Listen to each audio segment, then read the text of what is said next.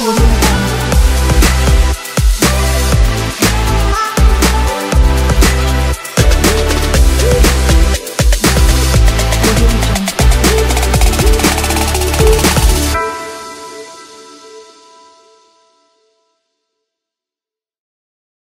Hey everyone, welcome back with a new lecture with ISO IEC 17025 2017 edition.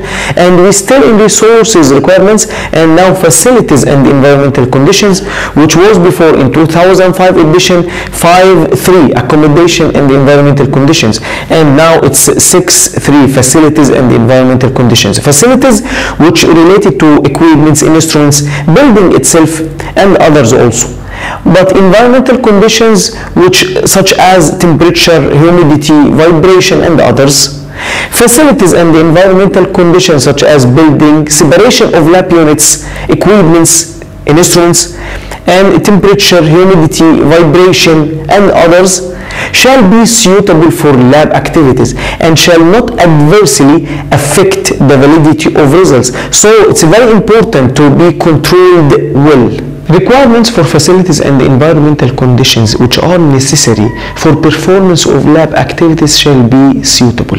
And here in this clause we talk about the facilities required to keep the environmental conditions suitable for lab activities such as thermometers or data loggers, any equipment required to keep the environmental conditions suitable and any tool required to do this shall be documented. So all facilities required to keep the environmental conditions suitable for lab activities to ensure the validity of results shall be documented. And there is a process inside the lab should be followed to get these requirements or these facilities. First, every unit inside the lab shall prepare a list of requirements for facilities or equipments required to keep the environmental conditions suitable for their lab activities and then they will send these lists to the technical lead who will revise these lists and will collect all of them in one list. Then he will send this list to the, the lab head who will approve this list based on the lab budget and then he will resend to the purchasing officer who will start the process of purchasing. And evaluation of tenders after that will be based on technical and price evaluation for all provided companies and lab shall monitor, control and record environmental conditions that may affect the validity of results. If the lab determine that any, any of these environmental condition will affect the validity of results, so in this case they shall monitor, control and record this environmental condition such as temperature traceability. Temperature is one of these environmental conditions that may affect the validity of results. So it shall be monitored, controlled and recorded. Monitored it will be by calibrated thermometers or data loggers. And you shall record the result for this monitoring in a specific form. So if you determine that any of environmental conditions inside the unit will affect or may affect the validity of results, in this case you shall monitor this uh, environmental condition and that will be by a specific equipment such as temperature traceability by calibrated thermometers or data loggers. And for all determined environmental conditions you shall have a specific form. As example temperature you will determine the temperature for rooms and also for the equipments need to be monitored because there is a different criteria between the temperature in rooms and in other equipment such as freezers, fridges, uh, water baths and others. So you will prepare two forms for temperature traceability, room temperature recording form and equipment temperature recording form. And inside these forms you will write the required temperature, required temperature for the room, as example 20 degree plus minus 5 and equipment as example minus 20 degree for the freezer as example minus 20 plus minus 2 so you will determine the temperature for these equipments or for the room every day and you will record the temperature that you will get and it should be within accepted criteria If you found that the recorded temperature was not within the acceptance criteria, so in this case you shall stop the analysis and try to take action to eliminate this risk. And that's also related to the risk-based approach. If you found this risk, you should find action to eliminate this risk.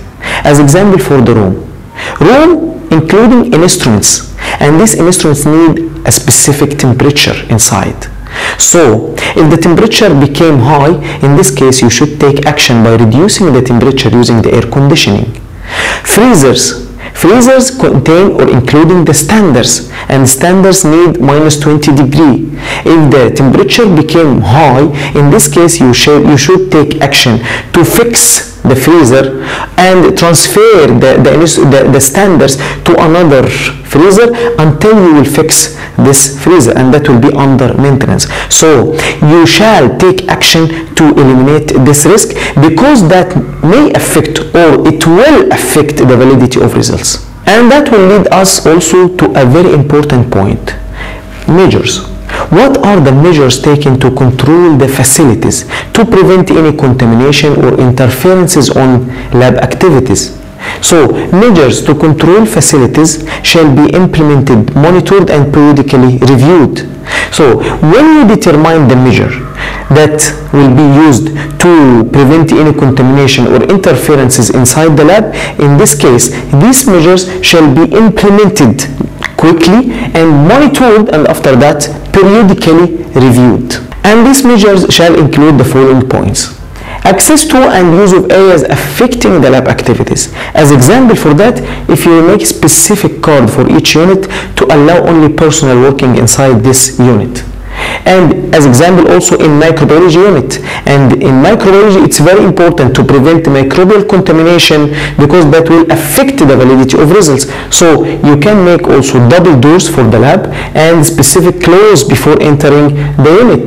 And that will prevent contamination, microbial contamination, so it will not affect the validity of results. And these measures also shall include prevention of contaminations or interferences on lab activities, such as there should be a separation between incompatible testing and also between standards of different methods or samples or chemicals in the fridges or freezers or rooms because that will prevent any contamination or any interferences on lab activities and results.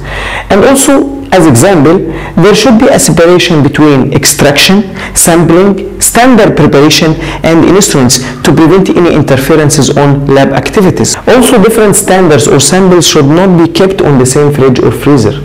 And also in microbiology, they will make swab test swab test for benches every day to prevent any contamination or interferences on lab activities. And also from these measures, separation between areas with incompatible lab activities. As I mentioned before, there should be a separation between standard preparation, sampling, extraction, and also instruments to prevent any contamination or interferences on lab activities and results. There should be a specific room for standard preparation another room for sampling, another room for uh, extraction, and specific room for instruments. I just gave some examples about the measures shall be taken to prevent any contamination or interferences on lab activities. But inside your lab, inside every unit, you shall make risk analysis. From this risk analysis, you will get any risk due to the environmental conditions, due to these environmental conditions that may have an effect on the validity of results. Then when you will get these risks, you will find actions or measures should be taken to eliminate or reduce these risks and that also shall be recorded in the risk register form. How to implement this inside the lab? It's very easy. First, you shall prepare a specific form for each environmental condition that may affect the validity of result. Once you determine the risk due to environmental conditions inside every unit, you will find equipment that will measure this environmental condition. Then you will monitor this environmental condition daily and record this in that form. So it will be different from lab to another lab. These environmental conditions will be different from lab to another lab and also from method to another method, from matrix to another matrix. So based on your risk analysis, you will determine these environmental conditions and you will prepare a specific form to record these environmental conditions daily. Also, all facilities required to keep the environmental conditions suitable for lab activities shall be documented as I mentioned in the beginning. Once you determine the environmental conditions required to be monitored inside the lab, you shall find the facility or the equipment required to measure this environmental condition and you shall purchase this facility. So that will be related also to the purchasing requirement. And very important point, risk register form. Once you determine the risk due to environmental condition inside the lab, you shall find how to eliminate this risk. And then you will record the risk and the degree of this risk and the taken action to eliminate this risk in the risk register form. So you shall prepare the risk register form and record in this risk register form also the risks due to environmental conditions. And there is no need for a specific procedure for facilities and the environmental conditions. And also in ISO requirements, they didn't say or mention that you shall prepare a procedure for facilities and the environmental conditions because in every method you will use to analyze your target analytes, you will write the environmental condition that will affect the validity of results and how to monitor and record this environmental condition for this method. So that will be in every method inside the lab. So there is no need to have a specific procedure for facilities and the environmental conditions. But you shall have a procedure for cleaning of labwares, waste management and chemical storage. You shall prepare a specific procedure for each one of them. And that will be different from lab to another lab based on your lab activities, based on the requirements and the procedure that you will follow inside the lab. So there is no need also for me now to prepare a specific procedure for you and you can adapt this procedure.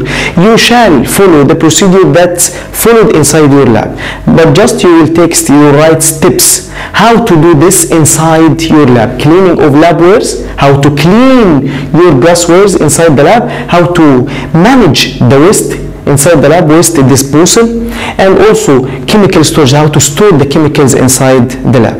Because all of these points are very important to prevent any contamination or interferences on lab activities. And very important point all equipments used to measure the environmental conditions inside the lab shall be calibrated every year. As example thermometer or data logger it shall be calibrated by a competent calibration lab every year. And you shall keep calibration certificate for each equipment and also label label on each equipment including the calibration date and also the due date for calibration after one year and if it's accepted or not can be used or not and you can find out from this lecture that risk-based approach or risk analysis is very important. You shall determine the risk due to all lab activities inside the lab from sampling up to giving the results to the customer and once you determine the risk you will find out how, how you will find out how to eliminate or reduce this risk. In case of facilities and the environmental conditions once you determine the risk due to environmental conditions you will buy the facilities required to measure these environmental conditions. And then you will monitor these environmental conditions and record in specific forms. And by this you will prove to the assessor or quality lead or, or to yourself that there is no environmental conditions that will affect the validity of your results or on lab activities because you already eliminated these risks. Thank you and see you in the next lecture inshallah.